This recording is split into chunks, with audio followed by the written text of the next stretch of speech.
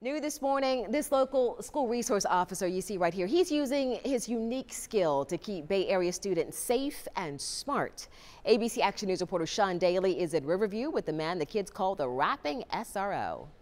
Don't hate, don't hurt, don't harm. Now tell yourself, don't hate, don't hurt, don't. I've always tried to sing, but they told me I couldn't sing, so that's why I started trying to rap. For 27 years, Officer Lawrence White was with Tampa PD, where he worked with high schoolers. The last seven years, he's been working for Hillsborough County Schools, interacting with younger kids. Ignore that foolish stuff. Ignore, ignore, ignore that foolish At Boyette Springs Elementary in Riverview, he's busting out a few of the 40 songs he's written about tolerance, kindness. Back in 1995, I wrote my first song, Don't Fight, Just Get Along.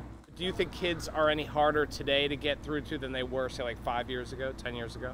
I think they are harder to get through to. Social media has a lot to do with just about everything we deal with now. The rapping SRO can get discouraged, but his message is getting through. My wife and I was out to dinner, and the server, he said, "Oh, Officer White," and and when he said that, another uh, family behind us stood up, "Hey, Officer White," and it, it feels good. Tell your frown to go away. It's gonna be a lovely day. In Riverview, Sean Daly, ABC Action News.